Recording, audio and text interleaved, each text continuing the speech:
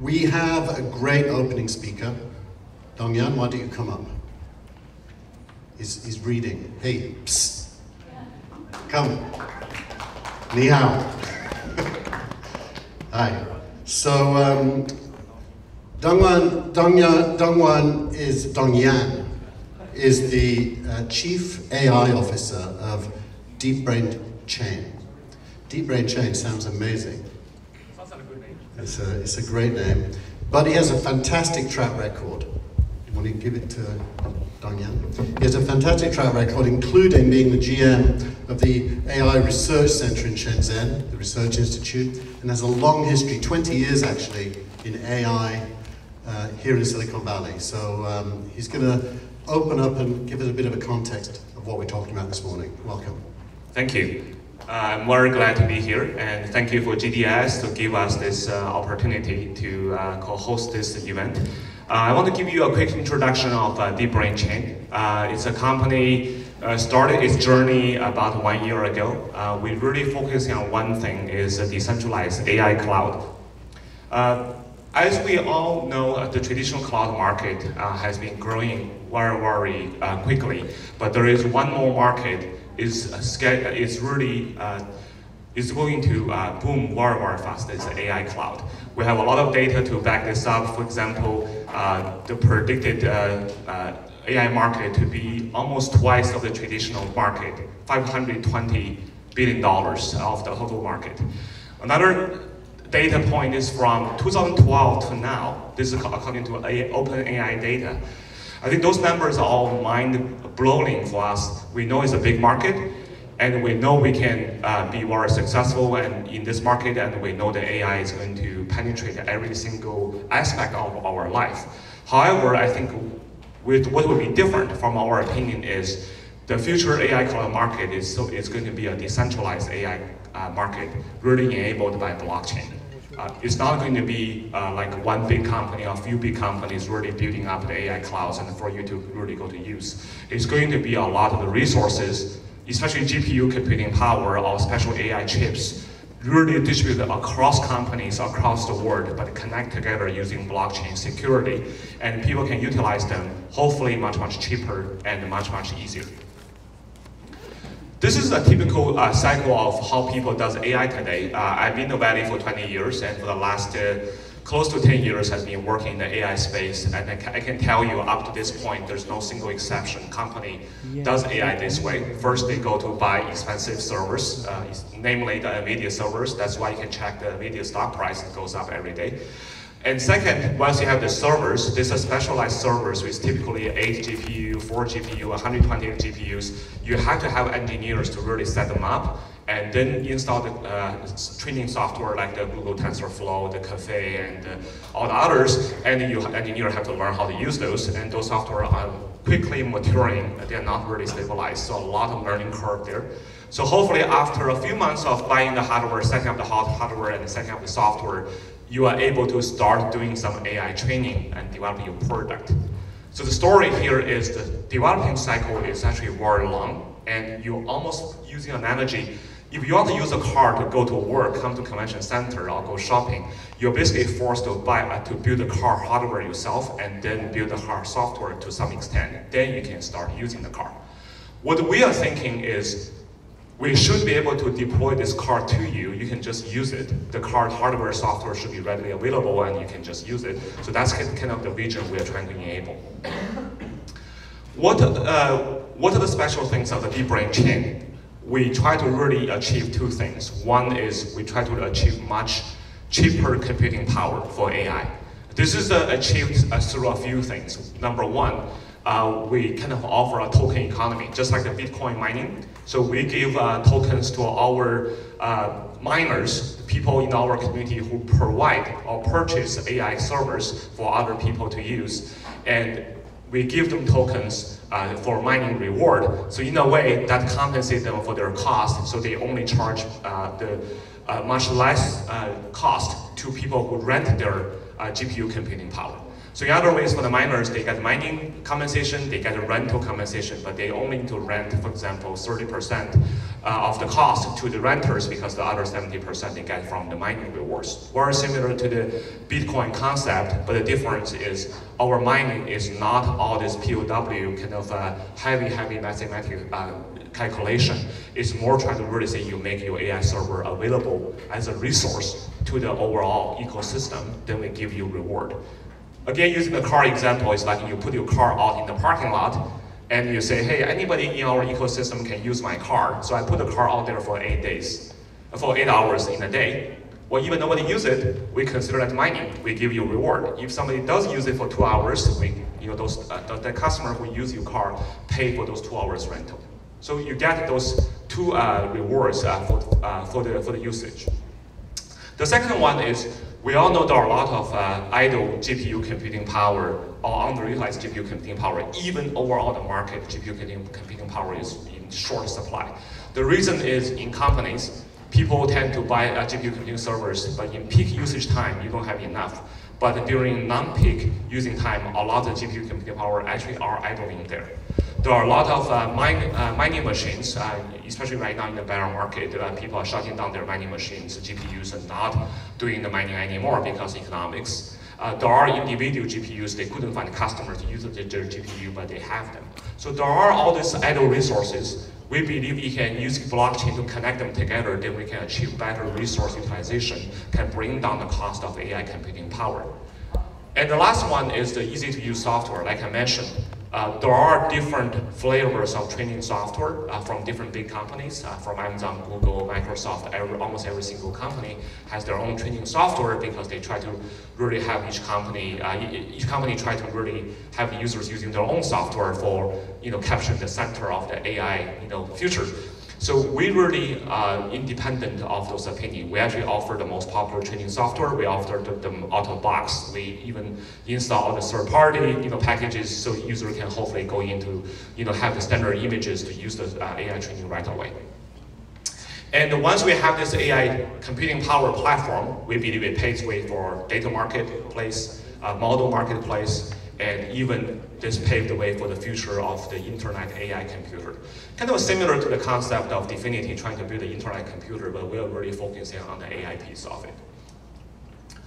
So the goal is try to really uh, reduce the computing power cost by roughly 70%, and there is a mathematical model behind it. If anybody is interested, we can share that.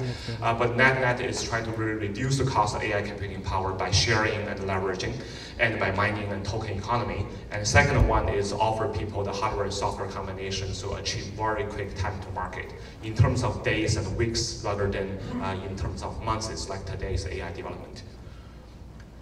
We, uh, like I mentioned, the deep brain chain was formed last year. Uh, we uh, finished the ICO last November timeframe, and we set up the uh, Silicon Valley Research Center in February timeframe. I joined the company in April. So we're quickly building up a team here, uh, top-notch AI researchers uh, in the Silicon Valley, really focusing on AI plus blockchain research and development.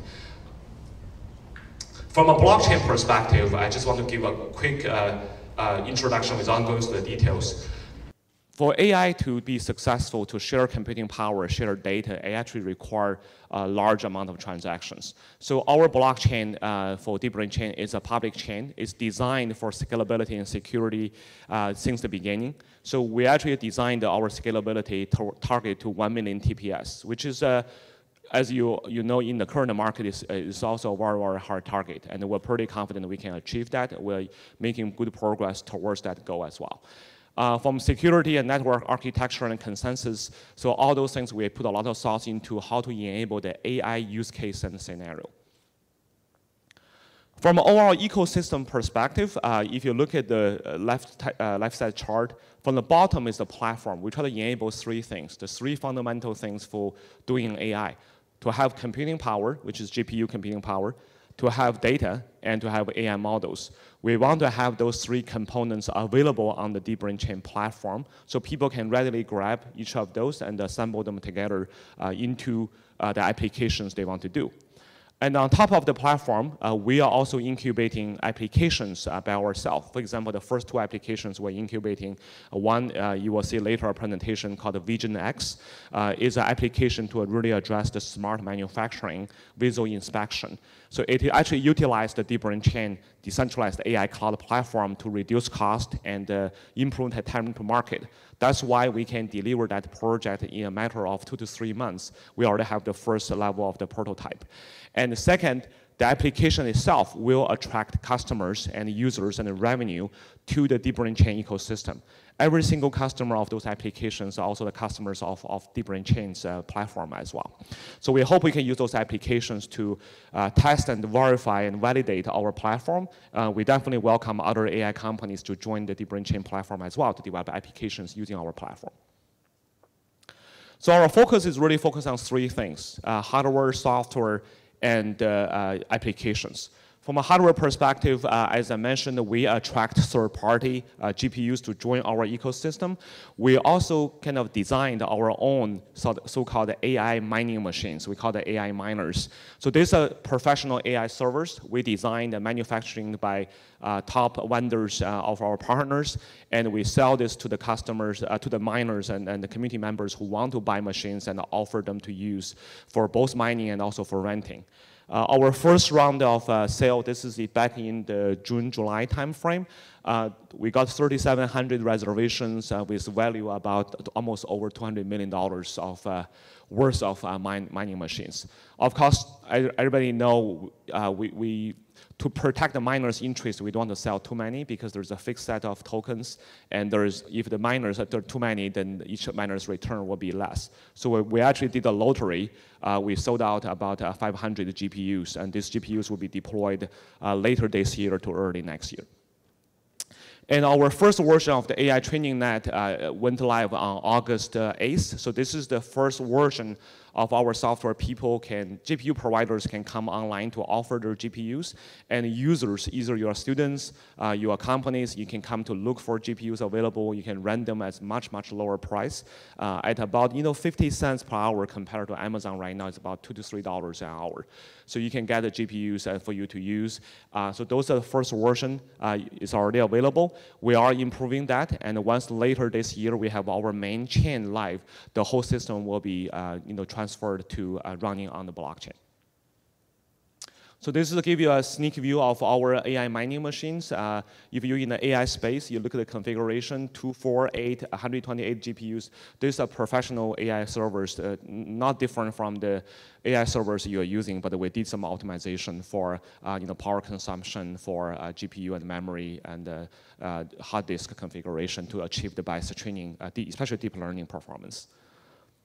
From a software perspective, like we mentioned, we want to offer a turnkey training environment. You basically get our machine, the software is pre-installed. Installed. So you can see here we have the, we support all the major uh, training software already, TensorFlow, PyTorch, Caffe2, MXNet from you know, Google, Facebook, you know, Microsoft. Uh, we, we already have a lot of the models run on the uh, uh, deep brain chain ecosystem uh, successfully. For example, computer vision, NLP, autonomous driving. So we actually test those models to make sure our system can, uh, can support those.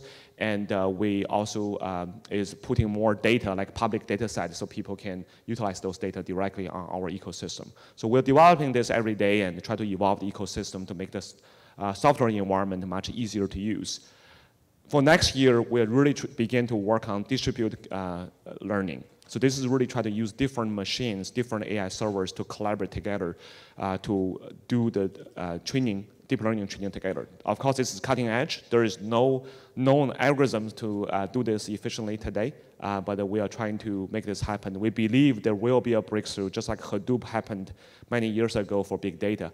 It will happen. The future is a decentralized future, not a centralized future, uh, future for AI computing.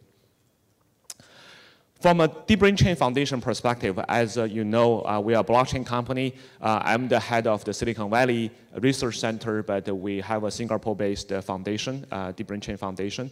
So Deep Brain Chain Foundation not only drive the deep brain chain ecosystem, but also drive the uh, overall kind of ecosystem for the not only the platform itself, but also for the exchange, for you know funding. So you can see this chart actually say, talk briefly about how deep brain chain works. So the foundation basically will try to use the deep brain chain ecosystem to incubate different application projects, including the two uh, application projects we already uh, incubate here and in Shanghai. Right here is Vision X, uh, the, the visual inspection company, and the, the Shanghai is a deep brain chain. Uh, DeepBrain.ai is a uh, voice AI company. And we are actually working with third-party companies and evaluate uh, what are the good AI companies. We can offer them a platform to use, much cheaper and much faster time uh, to market. And also, uh, Deep Brain Chain Foundation incubate uh, exchange, uh, AI-focused token exchange called Deep Token. So this is a token exchange really focusing on AI projects, and it will have the top 50 experts in the industry to vote which project will go on the exchange or not. So it's a pretty um, unique way of voting as mining, voting as mining approach. And then all those uh, uh, projects can raise and run on the DBC platform. So I mentioned that the Deep Token is trying to discover the outstanding AI digital assets. There are a lot of smaller AI companies that are doing very good AI work, but they, they cannot, they have a hard time finding funding or uh, get on exchanges, do ICOs. So we hope we can help on that. Uh, we have a voting as mining, and our underlying platform is actually partnering with Huobi. Uh, so there is a, a very, very uh, kind of a strong platform behind, uh, and we are listing model is uh, uh, you know, partner with Huobi as well. We don't charge any listing fee, right? So if anybody interested, you uh, can come outside to talk to our booth and we can connect with you on the, with the Deep uh, Brain Chain Foundation. Unfortunately, the Silicon Valley team, uh, we're not involved in the Deep Token exchange, but we can help you connect to the right people. Uh, just a sneak view of the Vision X to close this presentation. This is an application we are doing, really focusing on computer vision for visual inspection, whether there's a big X, is trying to deliver the AI uh, solution across industry. As we all know, Industry 4.0, right, or any industry, or visual inspection, though a huge, huge market. I don't need to elaborate the number here. Uh, you can see the number just is mind-blowing to say just in China alone, there are 60 million quality inspectors uh, and that costs $350 billion every year. Basically using eyes to look at this is either as fashion clothes, as you know, home appliances, iPhones, LCD displays, medical devices. Many of those are done by human eyes and inspection. It's not healthy for them and it costs a lot of money. And of course, the quality is a problem. So what Vision X trying to do is address a few of the key issues uh, of today in the industry. Number one, there is industry AI is really a very much huge but underserved market. There's no mature AI solution because the very reason of each of the company have a hard time collecting enough data, quality data for the defects. If you think about this, right, I used to work for Midea Group, the, the second largest uh, consumer electronics company in the world. I run the global AI for them. Uh, if you talk about the stainless steel refrigerator, right, the defect rate is like 0.01%. So if you think about it, every 10,000 uh, you know, refrigerators, you can have one scratch. And that one scratch can be a dent, can be a scratch, can be a dent, can be a, a hole, can, can be different type. So to collect enough data for each type of scratch, it take a long, long time for each customer. That's why each customer have a hard time to deliver this. But if there is a way we can connect all the customers together in the same industry or even across industries, but their data and problem are similar, we have a chance to have everybody work together to deliver the best cross-functional, cross-industry uh, AI solution. That's what Vision X is trying to do. We're trying to create a blockchain-based incentive, incentive system to have different companies working together invisibly they don't they know they're working together, but they don't have to know I'm working with uh, you know my competitor. But I know I'm working with them. We are contributing the data together. We're contributing the overall AI solution together that will benefit me as well, right? We even have a profit sharing mechanism for the early adopters to benefit, right? So they get tokens and also profit sharing. So later at 10:50, there is a session of this. We'll talk a little bit more about this. We hope uh, we can uh, you know bring a different flavor of a blockchain plus AI project. I think most of the blockchain plus AI project in the market is more on the consumer based, and this is a really B2B based. So with that, uh, I hope I can give you a, I have give you a quick introduction of the deep brain chain, and uh, we have booths outside. Hopefully, uh, we can bring information to you and welcome. Uh, we welcome everybody to join uh, our ecosystem, uh, and hopefully we can help to move AI and the blockchain forward. Thank you very much.